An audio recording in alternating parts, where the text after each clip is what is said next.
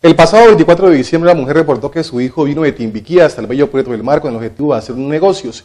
Sin embargo, no fue hallado pistas sobre él. Afortunadamente ya fue encontrado en la ciudad de Cali. Está sano y salvo. Aunque no se ha explicado oportunamente por qué no informó a su respecto a su procedencia, la historia acabó en forma feliz.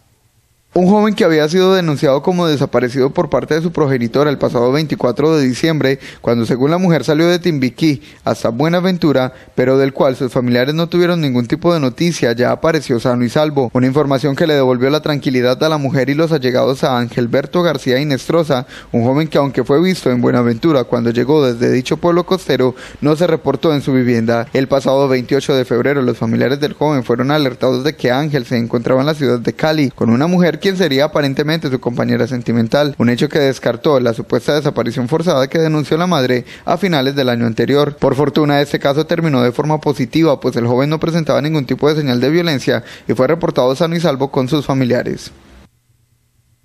Bien, que sea feliz con su mujer en la ciudad de Cali.